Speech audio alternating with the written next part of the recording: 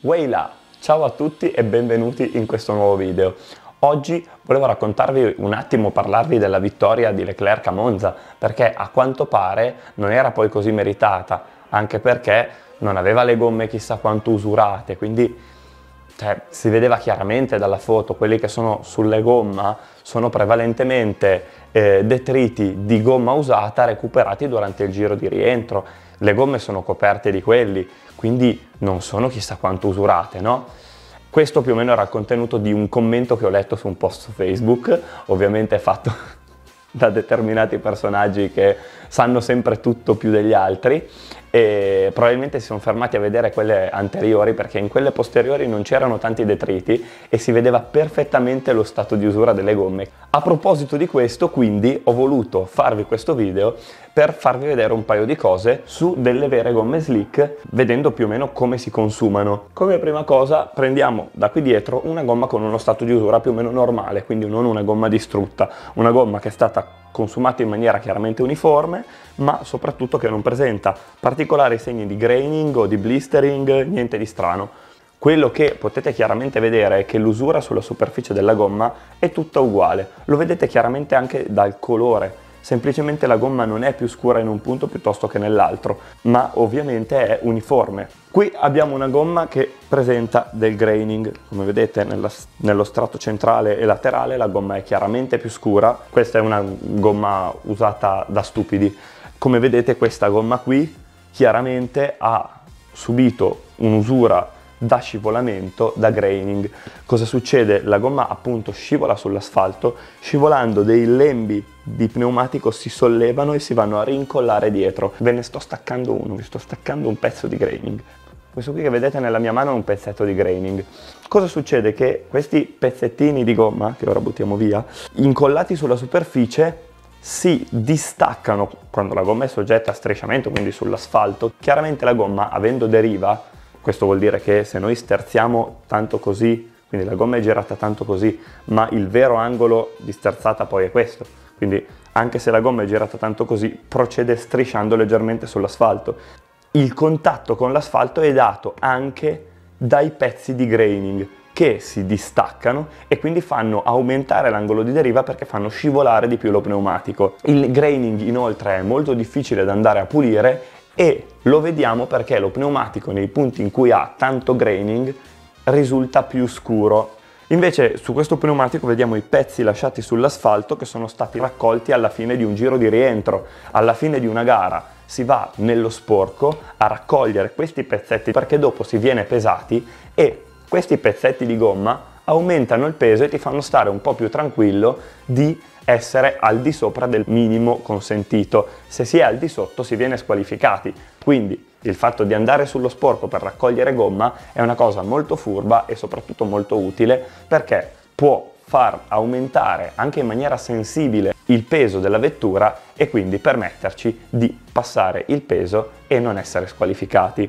Abbiamo visto che in Formula 1 questa è una cosa che può succedere, quindi chiaramente questa è una cosa molto utile. Se è vero che effettivamente le gomme anteriori di Leclerc sono molto coperte da detriti raccolti nel giro di rientro, nelle gomme posteriori invece il graining si vede tanto e si vede benissimo. Parlo specialmente delle gomme anteriori di Leclerc, dove il graining non era perfettamente uniforme. Ovviamente fa anche sì che quando tu vai a mettere l'impronta a terra, quindi vai a caricare l'anteriore magari frenando, quando andiamo a impostare la curva e quindi a inserire, la sensazione di tenuta della vettura viene leggermente meno. Quindi chiaramente è più difficile capire dov'è il limite e è più difficile capire dove andare in appoggio, quindi quando abbiamo raggiunto più o meno il limite possiamo andare in appoggio mantenendo quella forza laterale sulla gomma, perché avendo una pressione sull'asfalto non perfettamente omogenea facciamo fatica a capire dov'è il limite dello pneumatico. Chiaramente sulle gomme posteriori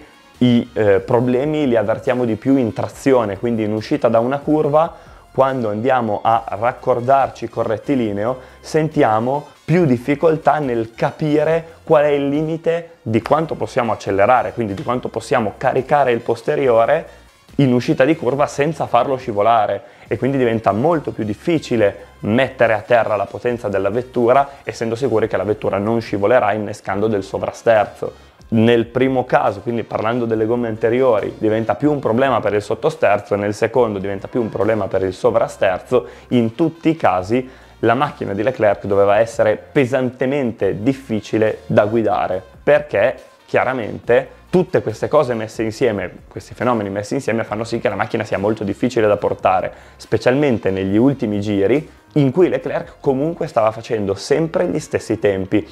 Questo ci fa capire che sicuramente ha fatto un capolavoro dal punto di vista di guida, riuscendo a fare dei tempi pressoché uguali per un sacco di giri su delle gomme demolite, chiaramente demolite, si vede, si vede, non, non, sono i pezzetti di gomma incollati sopra nel giro di rientro che ti fanno dire ah no, sono pezzetti sopra ma le gomme sono perfette si vedono i fenomeni di usura delle gomme e sono fenomeni pesanti perché la gomma posteriore è chiaramente totalmente coperta da graining su tutta la superficie appunto. È chiaro che quella gomma lì è una gomma su cui è difficilissimo guidare. Lui ci ha fatto dei giri tutti uguali sopra quella roba lì non so come abbia fatto ma questo rende soprattutto chiaro che la vittoria non è merito della McLaren che si è mangiata la strategia o cose del genere, ma è tutto merito di Ferrari e Leclerc non togliamo i meriti a chi li ha perché in questo caso in particolare Leclerc ha dei grossi meriti riguardo la vittoria di Monza. Oltre a dirvi come sempre di seguirmi se il video vi è piaciuto e lasciarmi un like che per me è molto importante,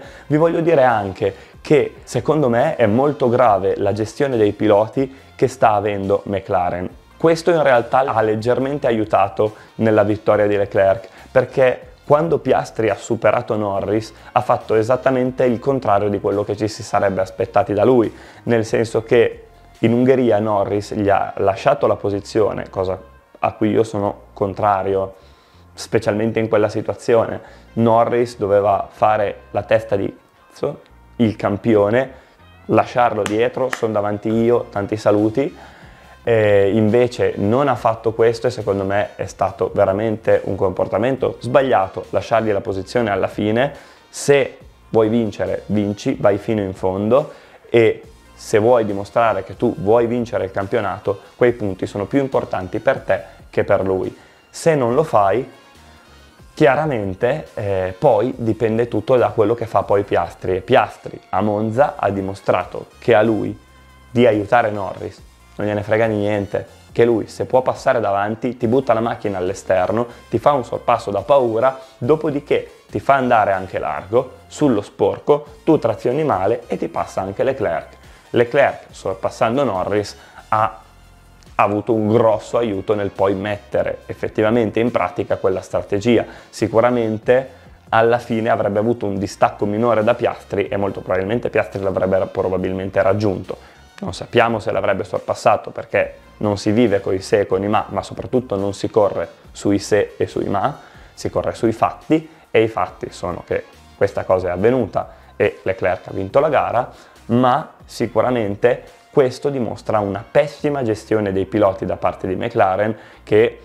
ha dimostrato che prima fa una cosa, poi l'altra, poi un'altra ancora, sempre diverse, non in linea con le scelte che un team deve fare quando con uno dei due piloti ha effettivamente la possibilità di andarlo a vincere il mondiale piloti. Questo non vuole essere chiaramente un post GP, questo è semplicemente un video che ho voluto fare perché ho visto che c'era un po' di confusione riguardo questo argomento e ci tengo soprattutto a sottolineare questa cosa perché io non faccio i post GP, non sono una cosa che attualmente mi attira, quello che volevo fare con questo video era appunto dare una spiegazione che riguarda una cosa che ho visto non essere chiara, perché se mi dici che quelle non sono gomme particolarmente usurate, non sai che cos'è una gomma slick, non sai di cosa stai parlando e non conosci i fenomeni che eh, ci sono su una gomma slick, quindi probabilmente non hai seguito molto la Formula 1 perché questi fenomeni vengono straspiegati durante le varie gare, specialmente in quei circuiti in cui si forma tanto graining. È il caso di Monza soprattutto in, questa stagione, ma perché l'asfalto era appena stato rifatto, un asfalto poco gommato e verde, come si suol dire,